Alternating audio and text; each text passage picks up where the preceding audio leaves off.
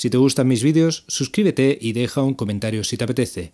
Y si tienes ganas de apoyar al canal, pásate por mi página Tipeee.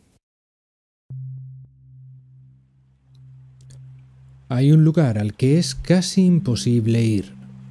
Si conseguimos llegar, afrontaremos peligros sin fin, arriesgando la vida a cada instante. Y sin embargo, explorarlo es nuestro mayor deseo. ¿Hablas del punto G?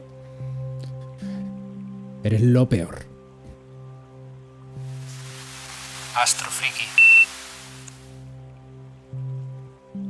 Hoy voy a hablar de la órbita baja, simplemente porque de todas las órbitas es la que mejor conocemos y donde hemos pasado más tiempo.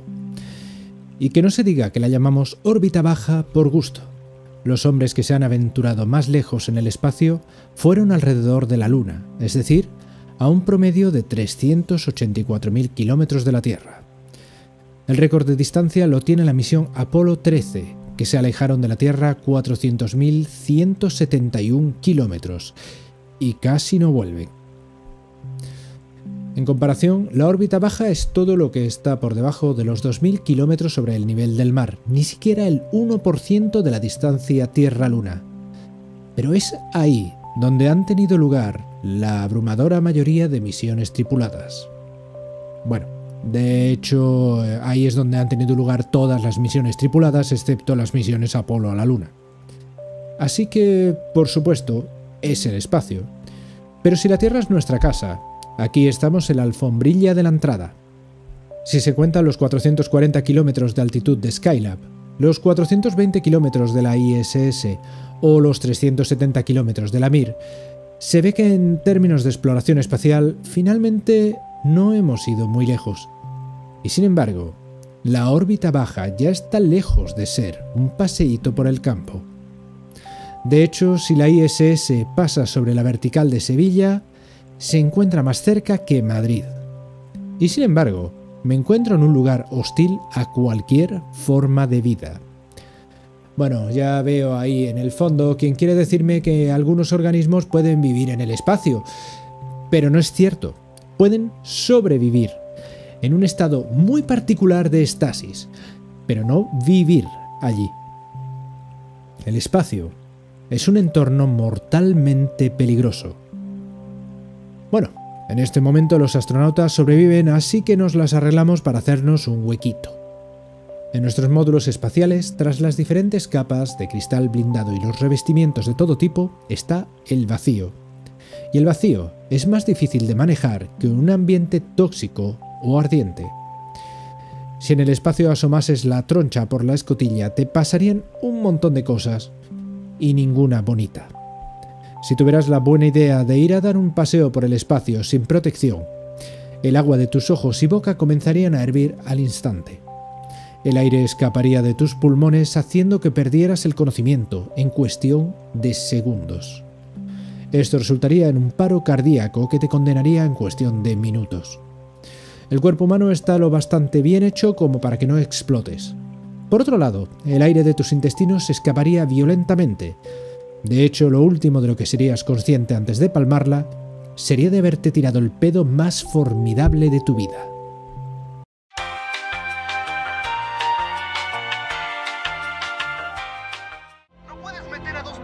Vas a morir. Morirás en segundos.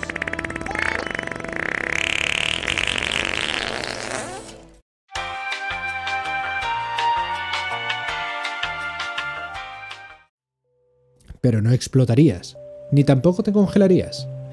Y ya que estamos, hablemos un poco sobre la temperatura en el espacio, porque hablar de temperatura en el vacío es un poco absurdo. Solo podemos hablar de temperatura si hablamos de un cuerpo porque mide su agitación molecular. Pero en ausencia de moléculas es difícil medir su agitación. Estamos de acuerdo en que a esta altitud el vacío no es perfecto, pero la densidad del aire es tan baja que lo consideraremos igualmente como vacío. Bueno, por el otro lado todavía hay un elemento a tener en cuenta, el Sol. En Tierra te beneficias de la protección de la atmósfera y 100 kilómetros de aire. Parece que no, pero filtra un montón de cosas, especialmente la radiación ultravioleta e infrarroja, pero sobre todo, Estás rodeado de aire, lo que facilita el intercambio de calor. Si tuviera la maravillosa idea de salir en pelotas al espacio, a la sombra de mi nave, no me congelaría especialmente. De hecho, si tienes frío en la Tierra, es principalmente porque estás en contacto con el aire frío, y es este contacto directo entre tú y las moléculas de aire que te rodean lo que permite la transferencia de calor. Pero aquí, como no hay aire, la única manera de perder calor es por radiación. Y es una manera particularmente ineficiente de enfriar cualquier cosa. Sí, a veces decimos que en el espacio hay 150 grados bajo cero. Esto solo es cierto para los objetos que han estado allí el tiempo suficiente para haberse enfriado. Así que si pasara 10 minutos fuera sin escafandra, no me congelaría. Estaría muerto, pero no congelado. Donde esto se complica si decido tomar el sol. Aquí nada impide que la radiación solar te golpee a tope. Y si te quedas al sol, tu temperatura subirá a la módica suma de 150 grados centígrados. Sobre todo porque, una vez más, no hay aire para ayudarte a evacuar todo este calor. Mira atentamente lo que va a pasar. El Sol saldrá en unos segundos, pero como la ISS orbita a 28.000 km por hora, un amanecer dura un momento. Aquí, como en la Tierra, primero aparece una luz anaranjada, luego vamos suavemente hacia el amarillo y finalmente hacia el blanco, como en la Tierra. También hay que señalar que en la atmósfera parte del espectro del Sol se absorbe y nos parece un poco amarillo. Aquí, como podéis ver, su luz es muy blanca. Afortunadamente, como no somos totalmente idiotas, inventamos algo genial, el traje espacial. Porque si mantienes a un ser humano a suficiente presión y con suficientes capas de aislamiento, logras mantenerlo vivo en el espacio. Pero para eso necesitarías un traje perfectamente impermeabilizado y con un sistema de refrigeración para evitar que se cocine en su salsa. Y no, no es como en Gravity, no estamos desnudos en el traje. Usamos ese tipo de cosas. Hombre, es como menos sexy. Y el hecho es que el traje espacial funciona bastante bien ya que hasta hoy nadie ha muerto durante una salida extravehicular. Bueno, no vamos a mentir, a algunos le faltó el cantón duro. De hecho, la cosa se puso chunga desde el principio. Cuando Alexei Leonov salió por primera vez al espacio, la diferencia de presión hizo que su traje se hinchara, lo que le impedía moverse libremente y regresar a la esclusa. Debe su supervivencia a un gesto extremadamente imprudente, ya que vació parcialmente el aire de su traje para disminuir la presión y restaurar su movilidad. Hoy en día los trajes se presurizan a 0,29 bares para evitar, entre otras cosas, este tipo de situaciones. Es una presión tan baja como la que encuentras en la cima del Everest, y para que los astronautas no se asfixien se les da oxígeno puro. Más recientemente, en 2013, Luca Parmitano se llevó un gran susto cuando empezó a sentir agua en la parte posterior de su cabeza durante una salida espacial. Debido a un filtro bloqueado, el agua se acumuló en su traje y en ingravidez, debido a la tensión superficial, el agua se adhiere a todas partes, y Lucas se encontró rápidamente cegado y asfixiado debido a una cantidad ridículamente pequeña de agua que tenía la desafortunada manía de pegarse a su cara y entrar en sus ojos, oídos y boca. Y fue su sangre fría lo que le permitió regresar a la exclusa y evitar así ahogarse literalmente en un vaso de agua. Así que cuando no es el vacío lo que está tratando de matarte, es tu nave espacial. Sí, he dicho nave espacial, porque piénsalo un momento. Un traje espacial no es más que una mini nave espacial, e incluso a veces dotado de un sistema de propulsión. Bueno, solo es en caso de que un astronauta se suelte de la estación y no está diseñado para ir muy lejos. Pero aún así, mola un montón. Así que en el vacío del espacio, uno se asfixia al instante, nuestro cuerpo no explota, pero es imposible retener el aire de los pulmones que se escapa debido a la diferencia de presión. No nos congelamos a la sombra, pero nos cocinamos al sol, y cuando todo esto está controlado, es potencialmente tu nave la que está tratando de matarte. Que te está quedando un episodio súper optimista. Nadie dijo que ir al espacio fuera fácil. ¿Estás seguro de que no prefieres hablar del punto G? ¿Por qué no paras de decir tonterías? Pues porque si dependemos de ti para conseguir likes, estamos jodidos. Ahora que lo dices, suscribíos, que es gratis. Pero esto no ha terminado porque una vez que todo funciona, Todavía tienes que evitar la basura espacial que puede perforar tu blindaje y exponerte al vacío. Y cuando sabes que a 11 km por segundo una escama de pintura hace tanto daño como una bola de bolos lanzada a 100 km por hora, no querrás imaginar lo que haría un perno o un trozo de chatarra de unos pocos kilos. Si la ISS está tan cerca de la Tierra es por muchas razones, entre ellas porque, como he dicho antes, aquí el vacío no es perfecto. Aunque el aire es demasiado escaso para permitir la sustentación, técnicamente todavía estamos en la atmósfera. Y una de las consecuencias de eso es que el aire residual frena muy ligeramente todo lo que está a esta altitud. La propia ISS debe ser regularmente acelerada para recuperar su órbita y no volver a la Tierra.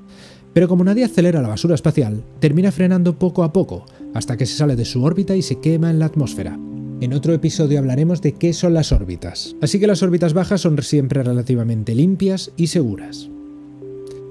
Bueno, relativamente. Porque la ISS también tiene que hacer maniobras evasivas cuando se detectan objetos grandes en su camino. En cuanto a las escamas de pintura, pues confiamos en el blindaje. Así que entre el vacío, las temperaturas extremas, los proyectiles mortales y los posibles fallos de la nave, mantenerse vivo en órbita es casi una misión imposible. Y como si eso no fuera suficiente, aún hay más peligros. ¿Todavía más? Sí. La órbita baja terrestre, o LEO para los amigos, está bajo los cinturones de Van Halen, que protegen a los astronautas de gran parte de los rayos ionizantes que nos llegan del Sol. Un rayo ionizante es una radiación lo suficientemente energética como para extraer un electrón de un átomo y convertirlo en un ión. Cuando te pasa una vez no es grave y en realidad te pasa todo el tiempo. Pero cuando sucede con demasiada frecuencia, puede tener consecuencias desafortunadas para la salud. Baste decir que es mejor evitar exposiciones excesivas. Sin embargo, el Sol bombardea constantemente a su alrededor con sus rayos ionizantes, son de tres tipos, núcleos de helio, llamados radiación alfa, electrones, radiación beta, y fotones de alta energía, radiación gamma. Los protones y electrones son partículas cargadas eléctricamente. Son atrapadas por el campo magnético de la Tierra y terminan en los cinturones de Van Halen. Así que mientras nos quedemos por debajo estamos bastante a salvo.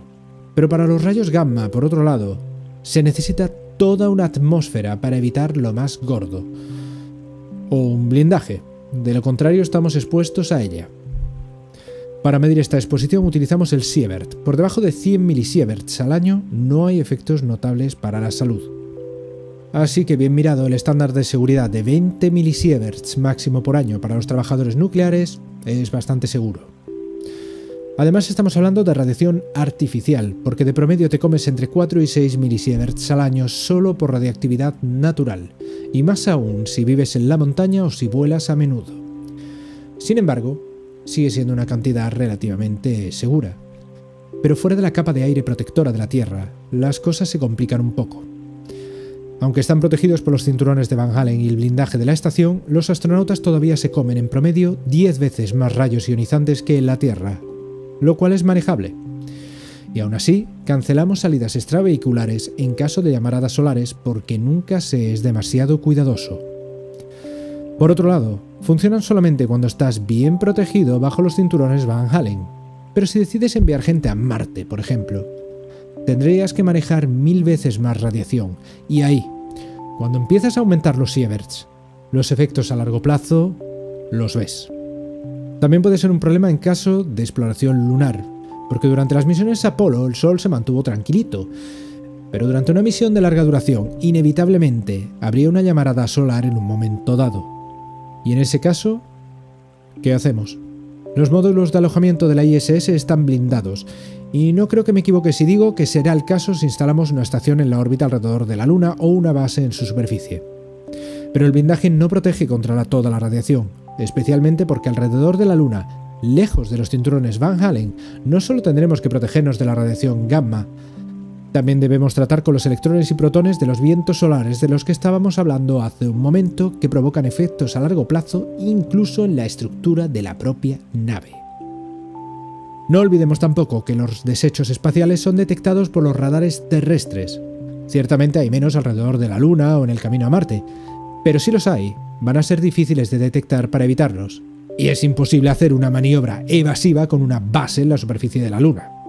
Así que, retomando, tenemos el vacío, diferencias de temperatura radicales, restos espaciales, mal funcionamientos, radiación. En resumen, el espacio nos quiere muertos. Lo que no nos impide querer ir desesperadamente. Así que incluso si nos adaptamos más o menos bien, no estamos hechos para vivir allí. E incluso protegidos por una nave espacial, la radiación y la ingravidez tienen graves consecuencias para la salud. Pero de eso hablaremos en otro episodio. Hasta entonces, solo me queda deciros, levantad la vista al cielo y sed astrofrikis. A más ver.